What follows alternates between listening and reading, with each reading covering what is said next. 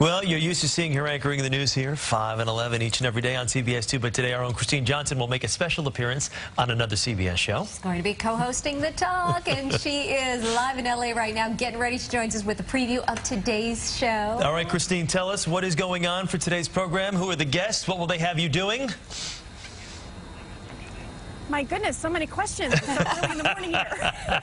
no, the guests, um, actually we have a, um, a guest co-host along with me, Howie Mandel, who I'm very excited um, to get to know a little bit better. We just had our editorial meeting and he was, uh, he was there and had a lot of really um, interesting nuggets to talk about with our hot topics today. And then the guest is the one and only Paula Abdul, which I'm very excited about because she provided me, Chris, Mary, come on, 80s, you know, Forever Your Girl. Of course.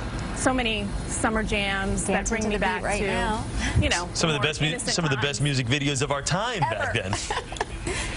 Oh my gosh, absolutely, And Kristine, absolutely. we hear you guys is- remember straight up. We, we want to ask you about the lucky New Yorker in the audience today. We're excited to hear about this. yeah. I know I haven't met her yet, but I do know her name is Gina Carrington. She's from New York. She's a flight attendant. And what was really great this year, um, and it's the first time they've done this, is they had um, a contest where the local viewers, wherever the anchor was going, you know, it's called Anchors Away, wherever the anchor was from, local viewers got to enter this contest and say why they were the talk's biggest fan.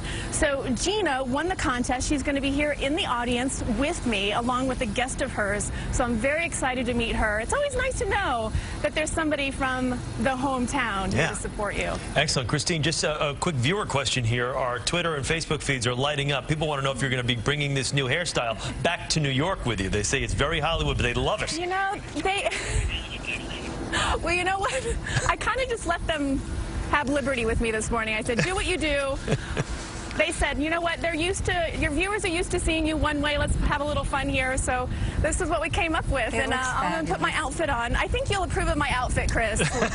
I love it, Is it a Kristine. Giants jersey? It looks fantastic. That's great. Kristine, Kristine, have a great time. Seriously, you look great. We're uh, looking forward to seeing it today, later on today.